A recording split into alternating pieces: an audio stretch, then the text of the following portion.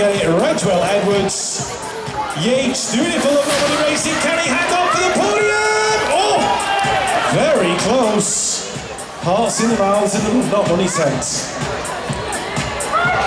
We're on to the uh, 15 16, the world number six out there at the moment, is it? We'll pick it up. It's 17 to 29, a final. Kieran McAvoy, Smith's in there as well. 554's in there as well. Looks like Owen Baxter on a roll for Big Daddy Pure, putting the points down. But McAvoy looking good for the win. Will Smith, great ride by him to take two.